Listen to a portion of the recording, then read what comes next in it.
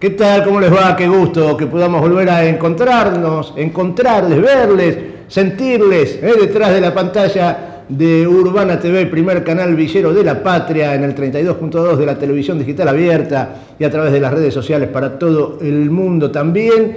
Eh, lo mismo que a través del cable acá en el barrio Padre Carlos Mujica, desde donde están nuestros estudios. Y hoy, mm, después de varios días de descanso, eh, pudieron este, estar con la familia, descansar. Eh, fue impresionante el boom de de turismo. ¿eh?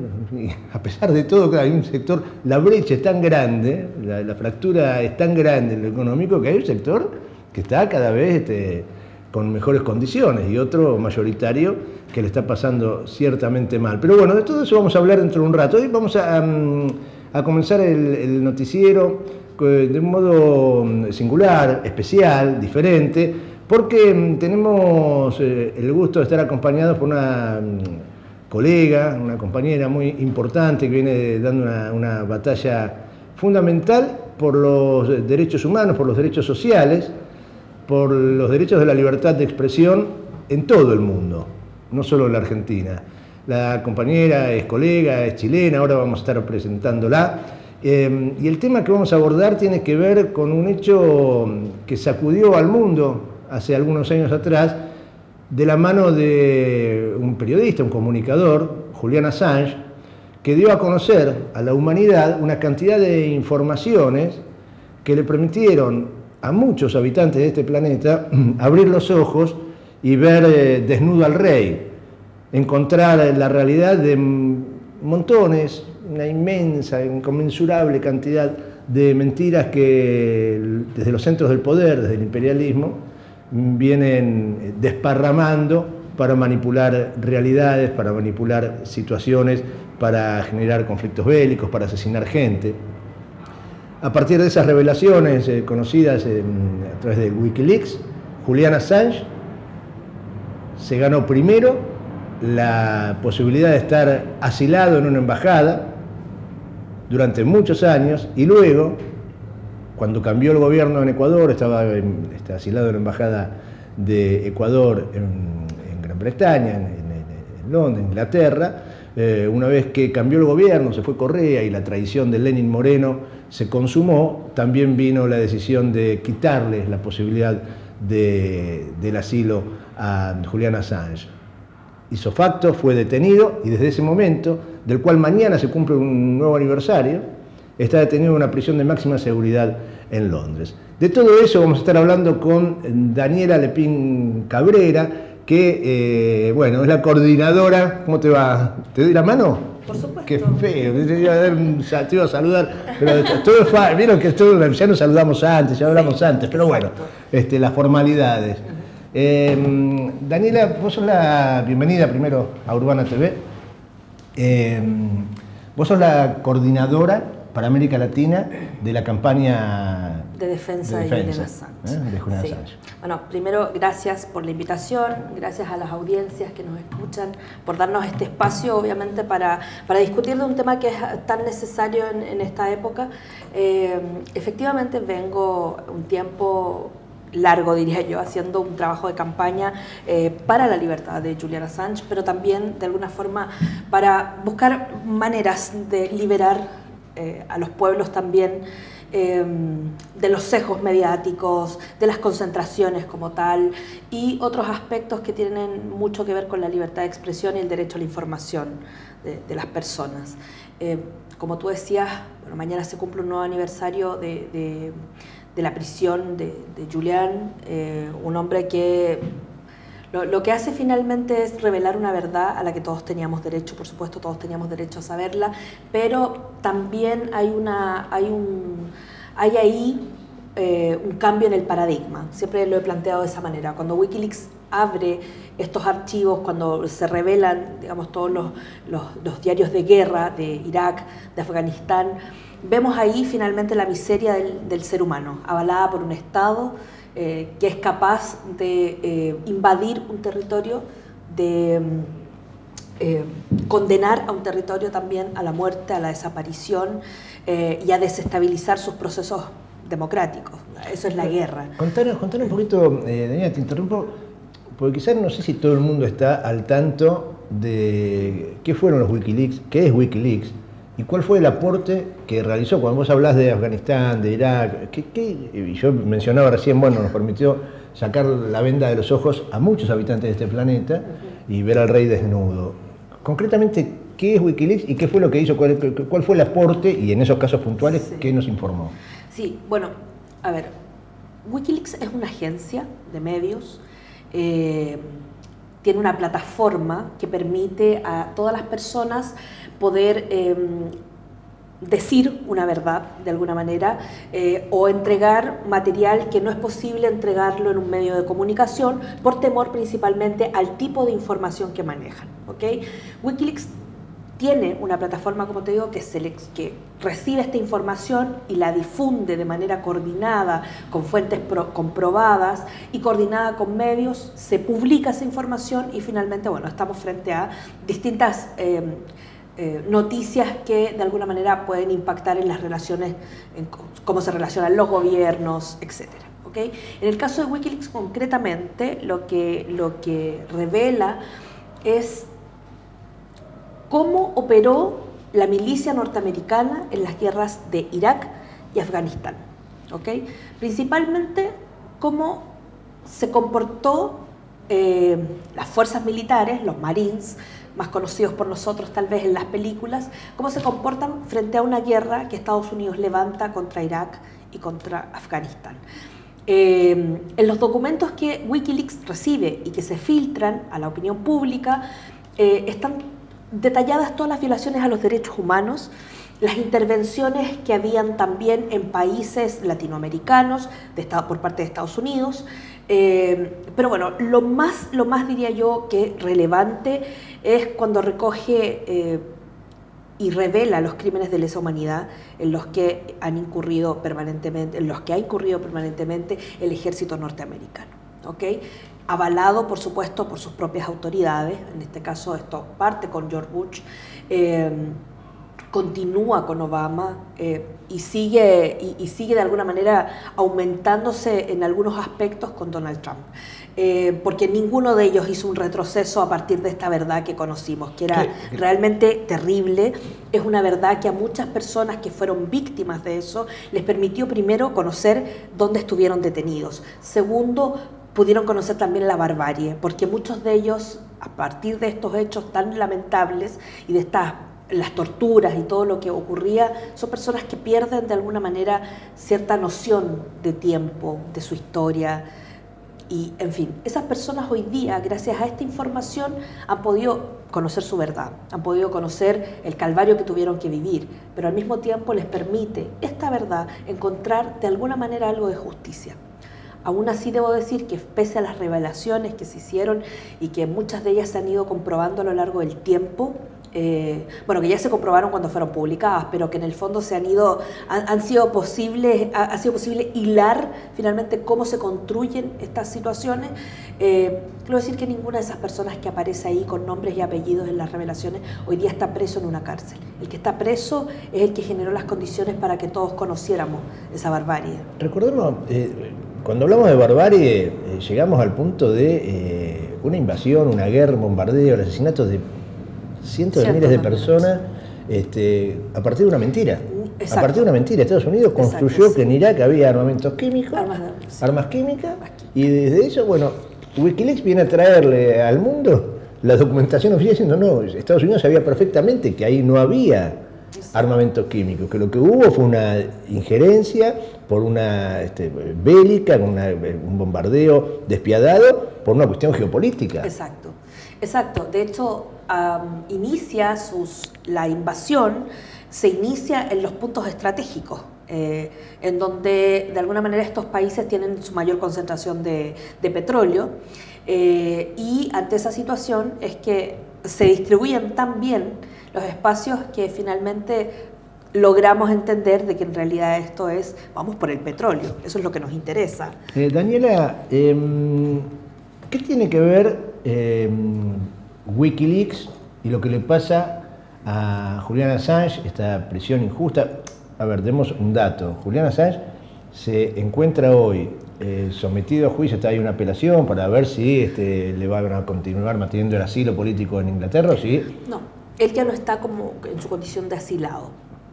Eh, Julián eh, se le, Ecuador le quitó el asilo. No, por eso está preso ahora. Una ahora ahora él está preso, sí, una vez que Lenin Moreno permite que se viole su propia inmunidad diplomática en, su embajada, lo sacan de la embajada eh, y él termina en una cárcel que está en la que está en este momento, que es eh, la Guantánamo británica.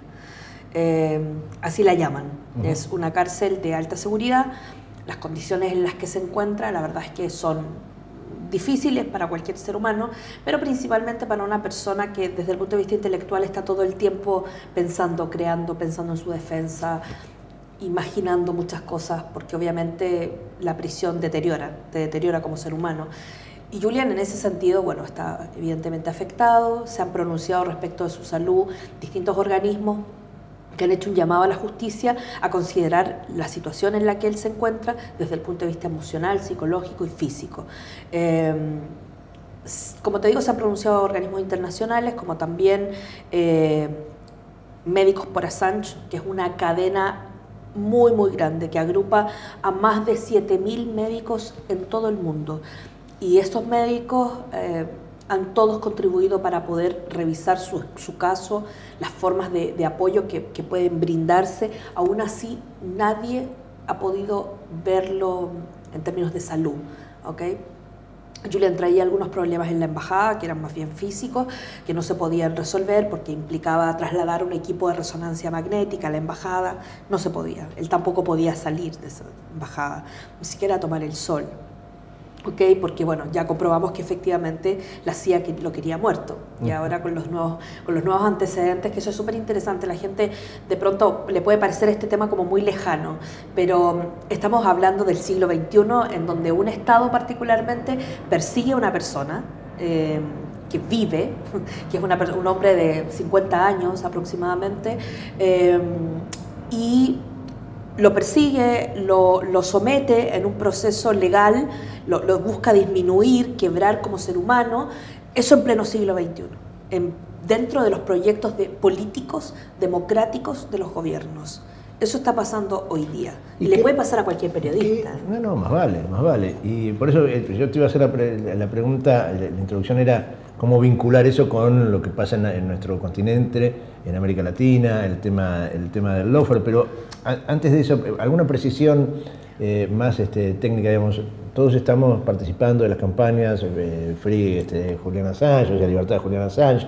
¿Eso cómo se materializaría? Porque a lo que se expone Julián Assange es a una condena eventual por 175 años. O sea, los tipos que inventaron que un país tenía armas este, químicas, lo invadieron, lo bombardearon, los quemaron, torturaron, todo eso, eso, eso nada. Al que denunció que todo eso era mentira, le quieren dar 175 años de cárcel. Bueno, ¿qué es lo que se está haciendo y cuáles son las posibilidades para materializar de algún modo esta situación que, que anhelamos, que es de la libertad de Julián Assange? Sí, por supuesto. Bueno, yo siempre quiero creer, o en el último tiempo, y esto lo dije también en un medio el fin de semana, em, siempre quiero creer de que en algún momento vamos a salir de este gran túnel, ¿ok?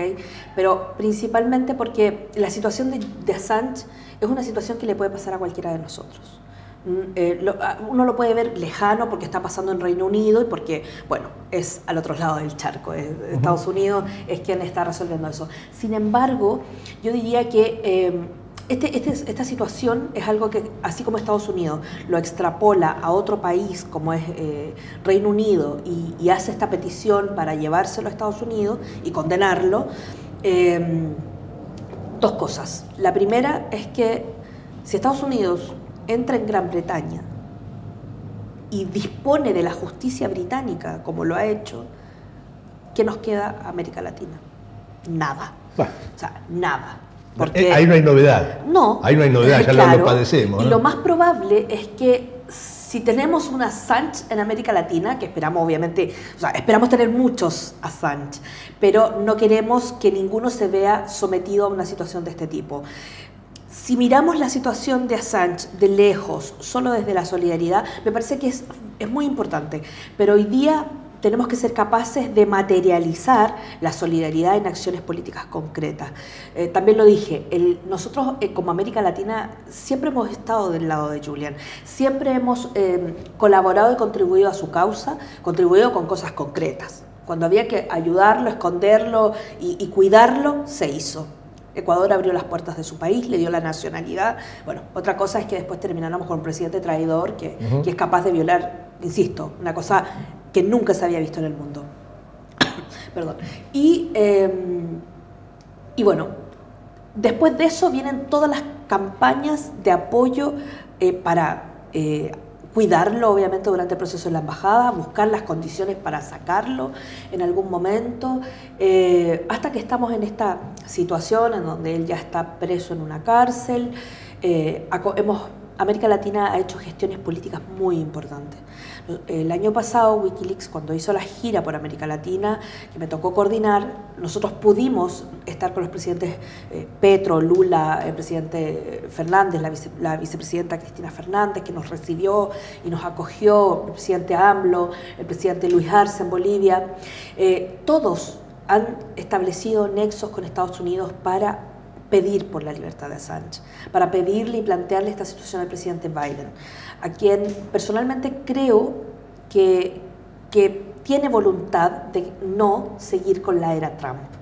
Eh, que tiene voluntad de revertir la situación que le deja un presidente con, los problemas, digamos, que tenía Trump en todos los planos, eh, y que hoy día tiene que revertir. Entonces, América Latina ya ha demostrado que está aquí, que está disponible para contribuir. Pero hoy día es como, a propósito de la situación de Assange, decimos, basta. En América Latina tenemos que buscar la manera de aglutinarnos y de levantar un gran referente político, social, que nos permita, eh, de alguna medida, resistir, diría yo, los embates que tenemos permanentemente en materia de comunicación. América Latina tiene una deficiencia profunda eh, en relación a las leyes de medios, que hay países que ni siquiera las tienen.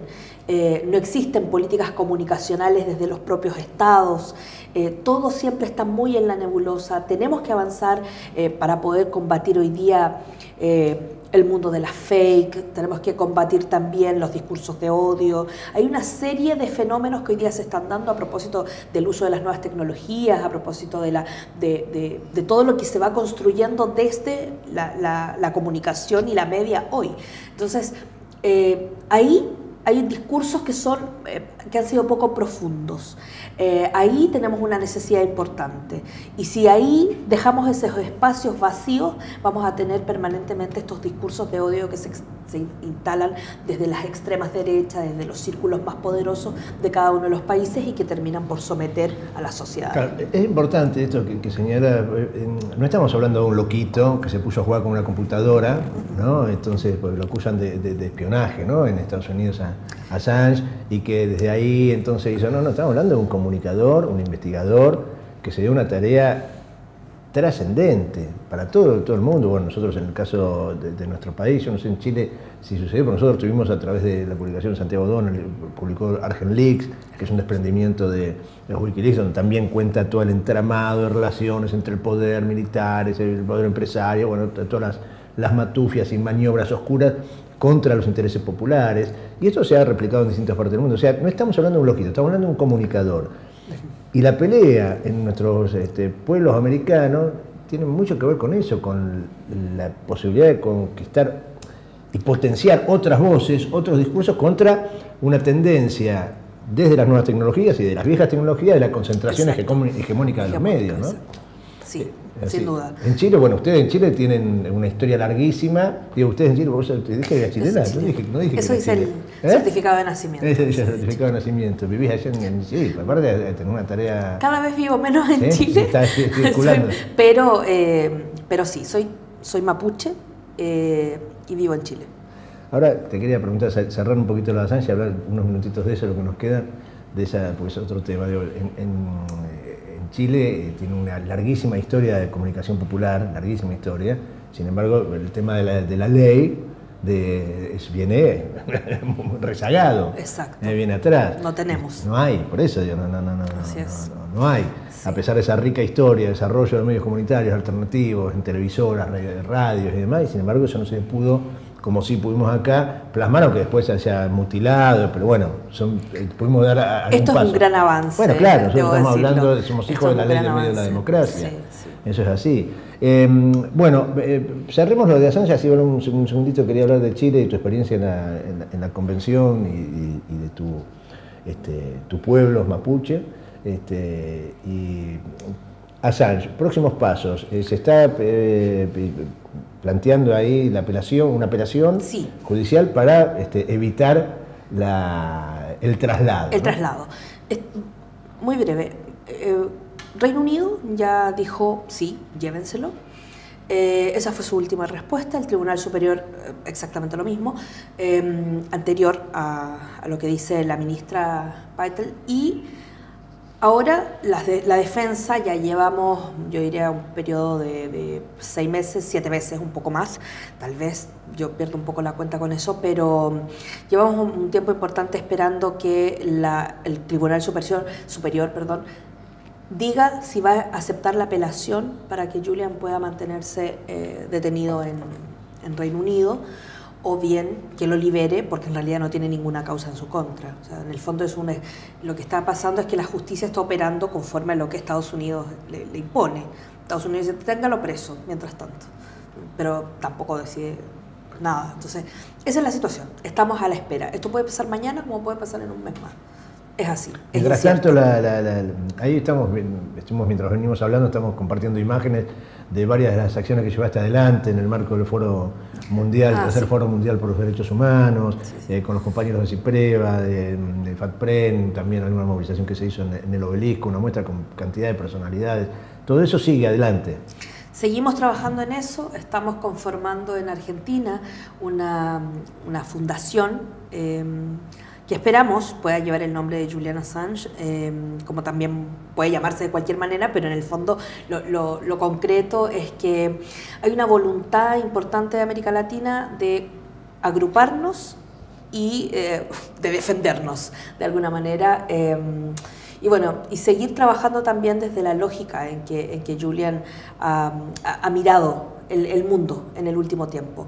Y eso me parece que es interesante, eso es como la, novedad. Obviamente estamos levantando algunos canales ahí de información a través de los cuales esperamos poder difundir más información eh, respecto de, la fundación como tal. Estamos en un proceso de conformación de un muy bonito directorio eh, que vista a la organización como, como merece, digamos, eh, y por supuesto recoger la experiencia argentina como el país que avanzó primero que todos, eh, si es que no me equivoco, pero primero que todo es una ley de medios, que si bien como dices tú ha mutado, pero hay una serie de cosas que han sido garantías y que hoy día hay que seguir peleando, me imagino ustedes como les queda como tarea seguir avanzando para mejorarla, profundizarla, etcétera. No, no, somos los primeros, hay otras experiencias, compañeros venezolanos, ah, Venezuela, la revolución bolivariana. puede ser, y hay otras experiencias en, el mundo de, Han sido un referente para Chile en todo caso. Indudablemente, indudablemente que sí, que es una, una pelea de muchos años, que bueno. Em, seguiremos entonces, seguiremos adelante, dice este, la canción. Bueno, seguiremos con, la, lucha y la pelea para reclamando por la libertad de Assange, que es la libertad de todos, de todos del derecho a informar, a ser informado, este, una comunicación libre y al servicio de los intereses populares y no de los intereses este, de los sectores del privilegio. Te decía que quería hablar unos minutitos, no vamos a ir, pero no importa porque tenemos una experiencia muy, muy importante en Chile eh, esa experiencia de Chile que a nosotros nos llamó mucho la atención, nos, motivó, este, nos despertó mucha expectativa con el triunfo de Gabriel Boric, un presidente joven, eh, pero con, una postura y una mirada interesante que, venía a subvertir un poco el statu quo eh, chileno, que es altamente conservador y de larga, larga data. Así es. Este, y una de, las, una de las intervenciones más importantes y novedosas que veíamos desde acá era mm, la del intento de por fin poner, eh, ponerle, finalizar, valga la redundancia, ponerle fin a la constitución de la sangrienta dictadura pinochetista. Y por eso se convocó una convención constituyente, hubo elecciones, varios meses de trabajo, con introducción de temáticas de, diversidades, con el tema de las identidades de, los pueblos originarios, la nación mapuche. y ahí vos tuviste un rol muy importante en esa convención donde, bueno, como dato primero, fue que se, se convocó, se pudo hacer. El otro dato es que quien presidió esa, convención fue una dirigente mapuche. Eh, y el otro dato que vos fuiste una de las asesoras de, esa presidencia. Y después no contemos el final porque el final es feo. No, no, no, no es una novela, pero bueno, también vamos a hablar del final de los procesos políticos. Pero contanos un poco esa experiencia, ¿qué está pasando en Chile con todo ese, movimiento? Sí, bueno, e, efectivamente em, me tocó ser asesora de Elisa Loncón, la primera mujer mapuche que lidera un espacio político tan importante eh, para los chilenos en ese momento. Em, Elisa Loncón es una académica, es una doctora eh, lingüista, eh, académica de una de las universidades más importantes en Chile, tuvo una formación en México y en otros países, una mujer que habla su lengua probablemente como ninguna otra, es realmente una mujer de mucho conocimiento. Yo me siento súper orgullosa de, de haber sido parte de su equipo, eh, de que ella quisiera mi apoyo. Eh, fui, diría yo, una persona que más aprendió que, lo que pude probablemente aportar, porque si bien es cierto, somos hermanas de, de, pueblos, eh, pero vengo de una familia que de alguna manera intentó o la vida de alguna manera nos alejó de esos lazos más profundos y fuimos muy pocas las hijas y nietas que mantuvimos una línea de conexión profunda con nuestro pueblo. Sin embargo, nos chilenizamos de alguna manera. Eh, y eh, mi paso por, las, por, la, por la constituyente con, con, Elisa fue de alguna manera mapuchizar el mundo de, desde donde yo venía también y cómo, cómo me iba involucrando. Em, bueno, fue una experiencia que inicia muy bien, pero también tiene eh, soles y bemoles. Los primeros son los discursos de odio en contra de una mujer mapuche por el hecho de ser mapuche. Em, en el día a día te toca, a mí como encargada de comunicaciones, obviamente uno hace un barrido por las redes. Y yo creo que era la primera vez que me enfrentaba a discursos, a palabras tan duras hacia una mujer, hacia un trato tan cruel, tan inhumano, derechamente, eh, por el hecho de ser mapuche. Bueno, mujer y mapuche. en Chile tienes ese problema, siempre que ser mujer es una cosa difícil y ser mapuche más, siempre la vas a tener más dura. Entonces, eh, eso fue, yo diría, un componente que a mí en lo personal me impactó. Sin embargo, Elisa tiene un temple eh, muy, muy, muy eh, maravilloso, porque este tipo de cosas no le afectaban y es duro porque tenías que trabajar de sol a sol prácticamente. Yo diría que los constituyentes, yo, me tocó en otro momento de la vida asesorar parlamentarios y senadores, esta es, es la primera vez que veo gente trabajar, iniciar su trabajo a las 7 de la mañana y terminar a las 4 o 5 de la mañana y decir en realidad no saco nada con irme a mi casa, me quedo y teníamos que hacer vida en, la convención, ahí en el ex Senado, porque no, queda, no había otra opción. Estábamos sacando adelante un proceso que realmente era transformador eh, para, para, Chile. ¿Y qué, pasó? ¿Cuál es tu lectura de por qué fue rechazado en la, en la elección por el pueblo chileno? O sea, tuvo una cantidad importante de votos, pero perdió, perdió la elección. Ahora se ha desatado de nuevo el proceso con una nueva convocatoria por intermedio del presidente Boric. Exacto.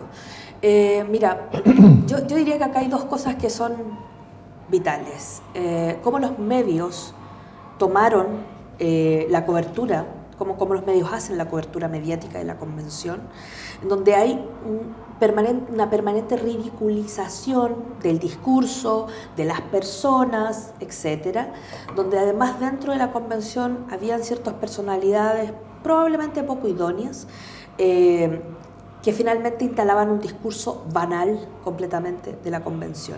Sin embargo, tú lo que uno veía afuera, lo que uno leía de, cómo se veía este proceso afuera, eh, bueno, grandes intelectuales lo, comentaban como que iba a ser probablemente una de las constituciones más avanzadas de América Latina. Hacia eso íbamos.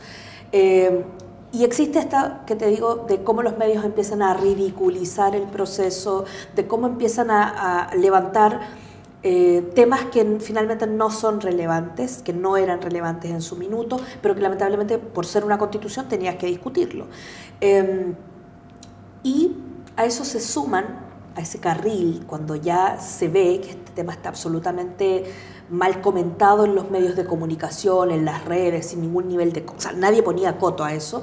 Eh, llegan estas grandes empresas inventadas de la noche a la mañana, financiadas por distintos grupos y poderes económicos de distintos países, eh, que se instalan en América Latina, en países en donde tienen poca fiscalización, como Panamá y otros, Paraguay, qué sé yo, y son estas empresas las que terminan asesorando a sectores que llevaron la campaña del rechazo a la Constitución. Y lo hicieron a través de cosas muy sencillas. En Chile se estaba debatiendo respecto a la justicia, a la justicia indígena, que no puede ser igual que la, que la justicia chilena, no porque haya una discriminación, sino porque dentro de la cosmovisión mapuche nosotros resolvemos nuestros problemas de otra manera. Nadie va a terminar crucificado, nadie va a terminar asesinando a otro, no, tenemos formas de resolvernos porque como pueblo lo hemos venido haciendo históricamente. O sea, que, en una batalla de 500 años no hayan podido eliminarnos ya es suficiente para decirles, hey, hemos venido haciendo política hace mucho tiempo. Los pueblos hemos resistido y hemos venido haciendo política, eh, nuestra propia religión, etc. Eh, y empieza a tornarse, a, instalarse estos discursos de que quieren tener una, quieren ser distintos, discriminan a los chilenos después de que los discriminados éramos nosotros, en fin, esas cosas. El tema de las viviendas, cuando se estaba trabajando en los procesos de garantías de, las viviendas sociales, el derecho a la vivienda como tal, surge un discurso que nunca nadie supo eh, decir de dónde aparece y es que a las personas les iban a quitar sus casas. En un país en donde, esto puede sonar muy ridículo, pero, pero así era, en un país donde tienes el porcentaje más alto de personas allegadas y sin vivienda, te iban a quitar una casa.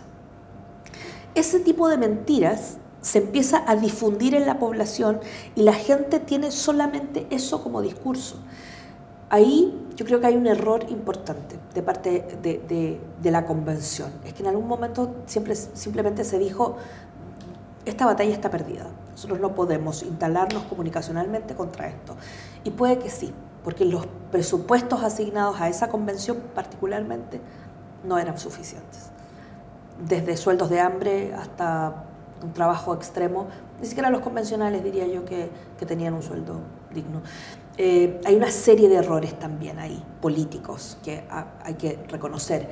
Eh, y bueno, terminamos en lo que terminamos. Yo diría que hay que meterse mucho más en averiguar, investigar, que es un trabajo que evidentemente estamos haciendo, eh, respecto de cómo se empiezan a instalar estos discursos que terminan validando mentiras.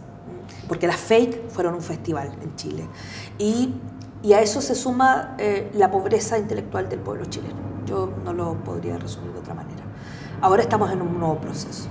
Eh, yo espero llegar a mi país la próxima semana eh, y asumir de alguna forma el trabajo de campaña que estamos levantando en Chile también por los pueblos originarios para que tengan un espacio, porque si bien es cierto antes habían cupos previamente eh, reservados, escaños reservados para esto, que bueno, que el pueblo chileno también salió a reclamar que porque los pueblos originarios tenían pueblos asignados, o sea, escaños asignados.